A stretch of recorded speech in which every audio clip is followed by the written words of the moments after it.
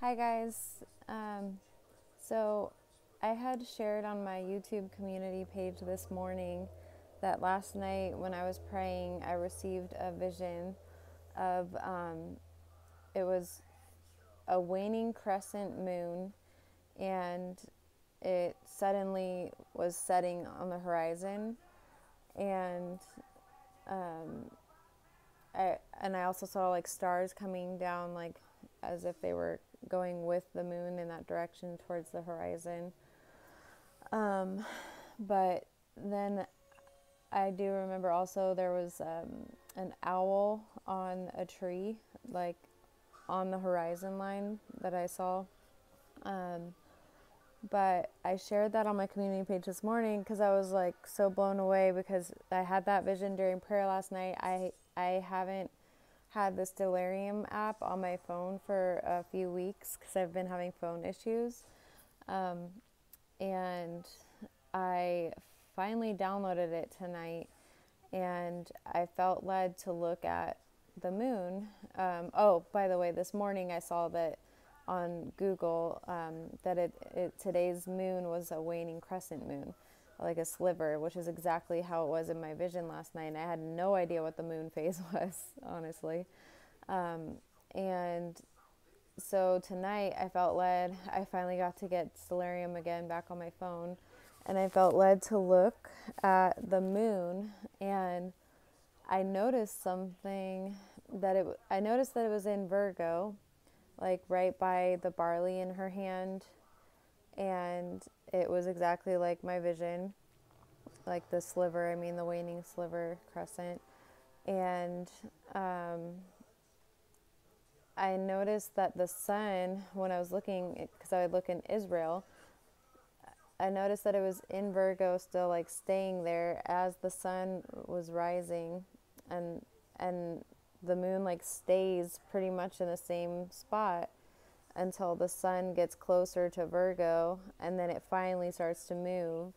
And so I was like, huh, I don't know. It could be why, um, it could be why he gave me a vision of, the setting moon, like moon setting suddenly. Um, but he also gave um, a personal message, like to Mandy and all of us, um, mentioning something about the moon fermenting.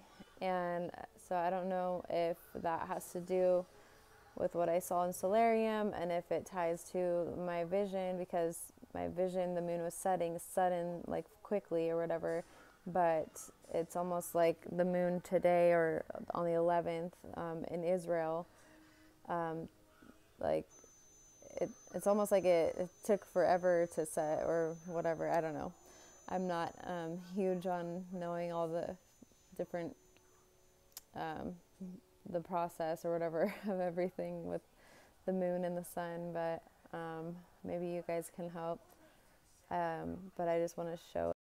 So you can't see here, but this is like after the sun is just rising or whatever in the morning, and the moon is like still there um, near the barley in her hand um, I scrolled back the time a little bit. So there's the sun rising, and the moon's up there near the barley. And then I just keep going. Here's a more zoomed out ver- um, photo of it or screenshot. So the sun is near the east or whatever, and then um, just rising, and then the moon is there, and then Venus as well. And then 825. 10:53 they get closer together the sun the moon and venus.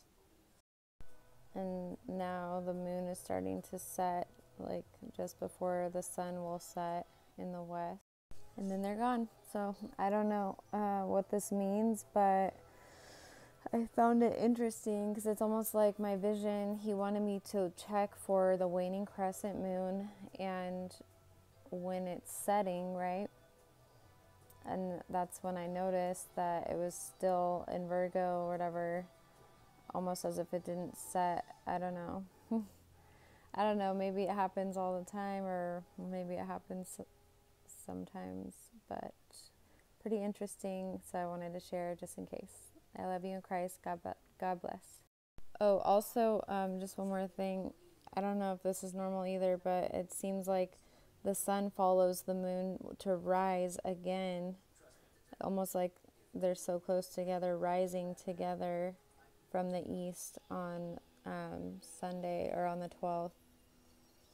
So that's interesting to me. I don't know. As I said, I could be way off and it could happen